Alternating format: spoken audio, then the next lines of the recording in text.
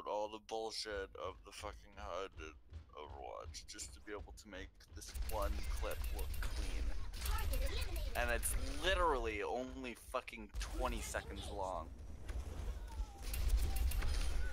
I mean, it looks great now, don't get me wrong, but that's ridiculous.